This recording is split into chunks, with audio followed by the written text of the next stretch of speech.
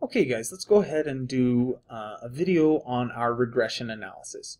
So the first thing that I'm going to do is I'm going to upload a little bit of data, uh, and this is actually just built into R Commander. Let's go to Data, Data in Packages, and Read Data Set from an attached package. And I'm going to open up Data Sets, and then if you scroll down all the way to the bottom, there is this trees data set. Um, if you want to know a little bit more data on this, you can click on Help on Selected Data, and if you do, over in your RStudio, in the help window, it'll pull it up. So this is the trees from dataset. It tells you girth, height, and volume for black cherry trees. Give you some information so you actually know what type of data that you're working with. Okay, so I'm going to go ahead and click OK. We're going to call this our trees, and it uploads it. Okay, so here is our basic scenario. Um, so what we're going to do is we're going to try to predict the volume of a tree. Let me open up a little blank worksheet real quick. Okay. So we're going to try to predict the volume of a tree, and let's let's blow up this just a little bit. So we want to want to predict volume volume of a tree and we will use uh, the girth. So this is the diameter of the tree as a predictor. Alright, so it's a pretty good um, oh, hypothesis that there is some relationship between the diameter of a tree and the volume of the tree. So what we want to do is we want to start off with our null hypothesis, and our null hypothesis is just simply going to be that beta 1, or the slope, is equal to 0, which means that there is no relationship between the volume and the girth of the tree. And the alternative hypothesis is simply that beta 1, and we're just going to say does not equal 0. Alright, we don't know exactly what the relationship is, uh, but we're just going to say that it's not equal to 0, and let's start off with an alpha of equaling 0.05. Okay, great. So now we can dive in and actually try to do this thing. Uh, so if we look at our data set, we can see that we are dealing with all numerical data. And remember, regression analysis is a numerical by numerical analysis. So we're going to, the first thing let's do, let's make a scatter plot. So let's go models, oh sorry, graphs, scatter plot. We're going to pick our x variable, which is our predictor variable, and our response is going to be the volume. And then we can go to options, uh, click on the least squares line. That actually will plot the regression line for us.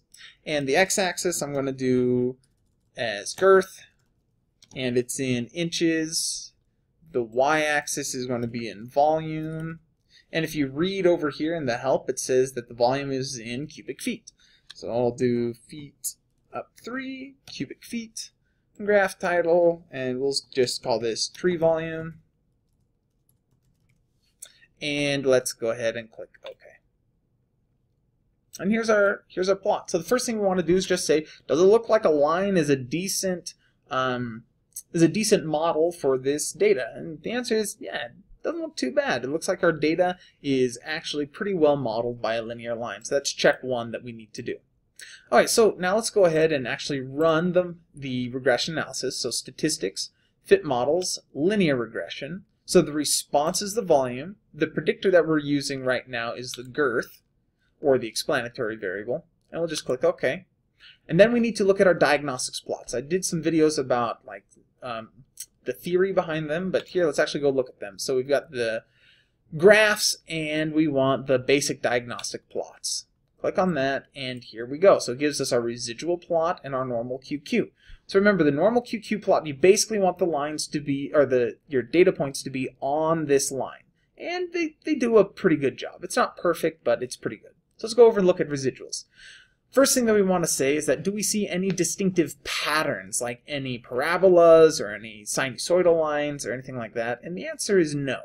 Now you might say, well, what about this V-shaped thing? And you got to kind of ignore this red line here because it, it's being kind of thrown off by just a couple points. If you look at these three points, they're kind of weird. If you were to just kind of hover over those, ignore those points, and just look at the residual, uh, the residuals now, now it looks a lot better. It looks pretty much like a random cloud. So we don't really have a problem with any pattern in here. Um, continuing on with that thought, we really don't have any problem with non-constant variance. Like it's not, we don't see any real distinctive fanning. Uh, independence, uh, we're doing pretty good. Maybe a little bit of clumping, but nothing too bad to get worried about. Uh, the residuals are still centered about zero, and they're approximately normally distributed, with the data points being clustered about the zero line, uh, and kind of occurring less and less as we get further and further out. So for our checks, we're actually doing just fine. Had we had a problem with like linearity or our um, oh, the normality of the data or non-constant variance, then we would stop and say, hey, linear regression is probably not the best way uh, to do our regression analysis. But for right now, we're doing just fine. So let's go ahead and actually, let's take a look at our output from our residual, or from our, sorry, regression analysis. So this is our output. What we're interested in is a couple of things. So first things first, we want to be able to um, we need our p-value, or let's do f statistic. We want a p-value, and we want a decision. Oh, and let's also get our equation. Alright, so our f statistic, if we look over here, it's just right here. It's this 419.4. Now, in the in a lot of the labs that, that I have, remember I usually ask for four decimal places and it only gives it out to one right here. Remember, we can always do the options, digits, equals, and then put in a big number. I'll put in like 20. Hit enter. Let me rerun the linear regression. Click OK. And now it gives me a ton more uh, decimals. So 20 was probably a little bit too much, but we'll, we'll go with it for right now. All right, so our F statistic, we can just copy this guy right here, copy, and paste. And then we got to round this thing correctly. 3. And our p-value, when you get something like this to four decimal places, it's 0 0.0000. Uh, oh, we also should put in our r squared value. r squared. Okay, and our r squared is equal to, we'll just 9353. Okay. So here we go. Uh, let's get this. I'll fix that real quick. Let's go ahead and increase the number of decimal places there to 4. There we go. Okay. So now let's talk about our decision. So we still are talking about is our p-value less than alpha? And our p-value is less than alpha, so we would reject the null. And our equation, okay, so we've got y hat, it's our prediction of what y is, is equal to, so we've got the y-intercept, so I'm going to copy this guy real quick, copy, and paste, so that's our y-intercept. Now, most of the time our y-intercept, we're actually not really interested in. It just helps us locate the line correctly. And let's go ahead and then put in the girth of the tree. We'll copy this guy and paste it and round that guy up. Sorry. Round that guy up. Okay. And times x. Okay. So now we've, we've got our basic stuff done. We've got our f statistic, our p-value, our r squared, our decision, and our equation. And now we need to talk a little bit about this. So remember, p-value lets us know that, hey, we really, there is a significant slope here. There is a relationship. And r squared lets us know the percent of the variability in the data that is described away by the model. We want that to be big. Like a good model, like bare minimum really is like 80%. If we can get that higher, it is generally better. Okay, so let's write a conclusion now. So we can say that we collected sufficient evidence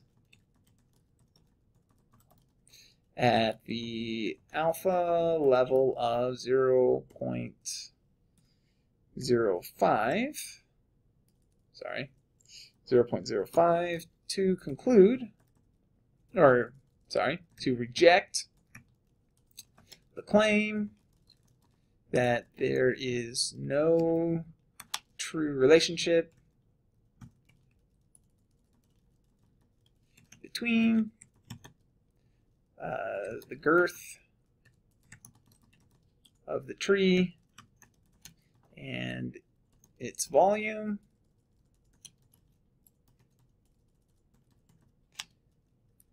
And instead conclude that there is in fact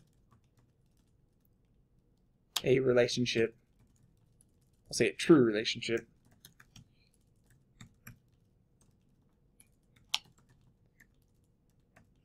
between the two variables. Two variables for what type of trees are these? Black cherry trees. Okay.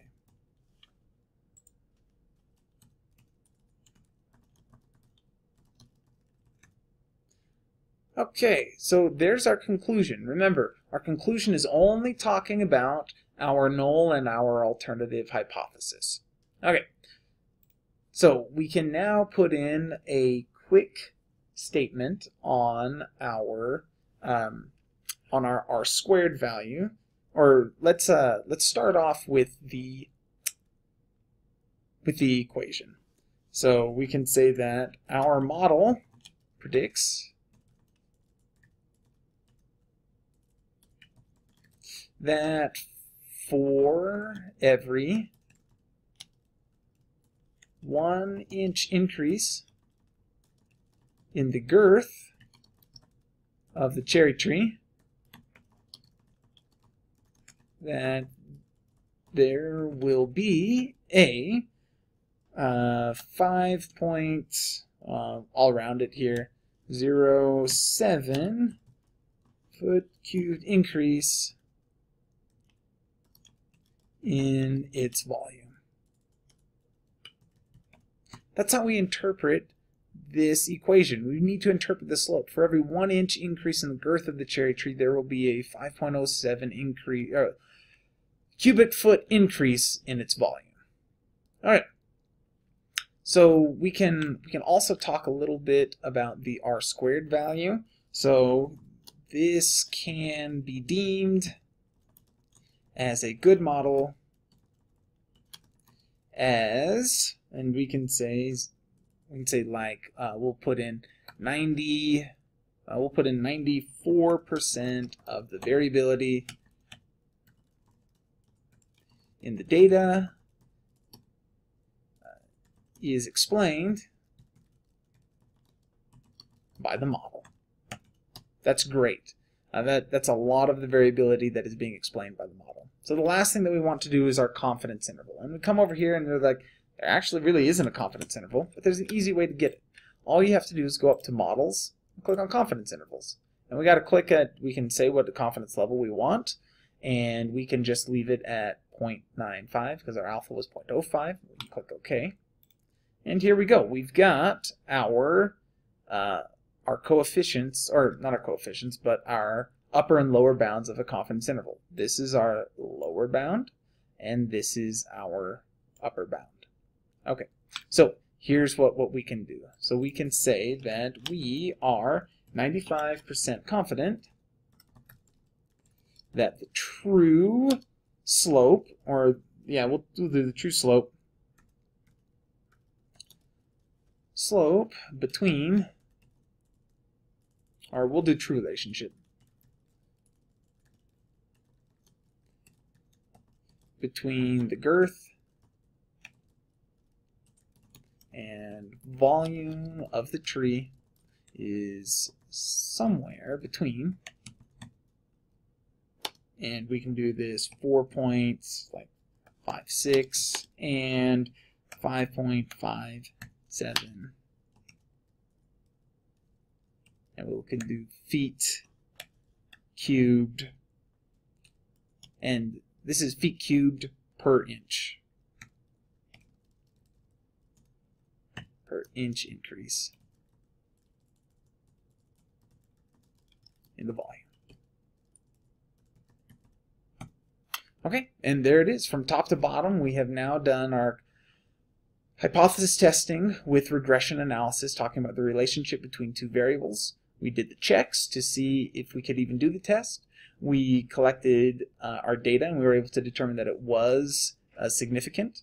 Then we were able to talk about how good our model is. We were able to describe actually the model and interpret the slope and also give a confidence interval.